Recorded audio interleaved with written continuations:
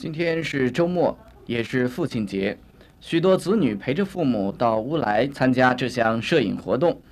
子女们除了用相机拍下父母的慈言外，也接受摄影家为他们合照。现场洋溢着一片浓郁的亲情。许多摄影家被这种自然流露的亲情所感动，纷纷按下快门，拍下了不少佳作。